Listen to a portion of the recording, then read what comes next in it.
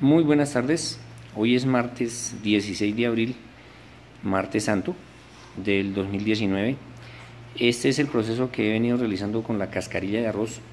Eh, apliqué unos microorganismos celulolíticos, logré que el material se ablandara químicamente.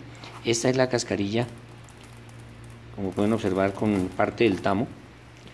Y le hice un proceso, le hice un proceso y aquí tengo el mismo material, pero como pueden observar, está picado y es un material de excelente calidad. El olor a tierra de bosque huele rico. Como pueden observar, ya solucionamos este problema.